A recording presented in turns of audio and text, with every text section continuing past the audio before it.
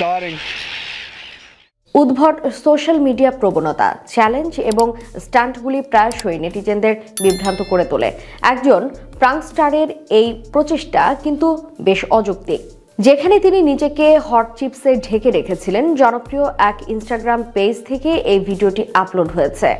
Martin এবং Michael নামে এক দম্পতি এই ইনস্টাগ্রাম পেজটি চালান। সেখানে ক্যাপশনে তিনি লেখেন, আমাদের সাম্প্রতিক বিজ্ঞান বিষয়ক পরীক্ষা করার জন্য এই ভিডিওটি শ্যুট করেছি আমরা। এই ভিডিও সোশ্যাল মিডিয়ায় হঠাৎ করে প্রচুর শেয়ার হতে শুরু করে।